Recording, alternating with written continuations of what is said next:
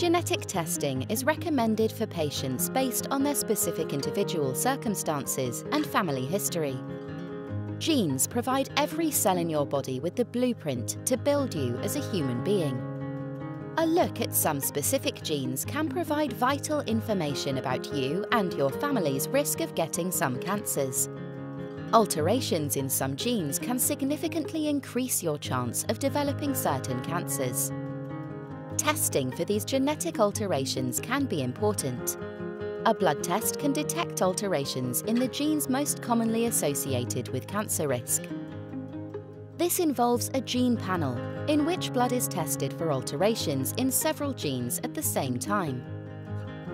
If eligible for testing, based on your family history, age and clinical history, the genetic test can be arranged with your healthcare team at the hospital or via a blood test at your GP surgery.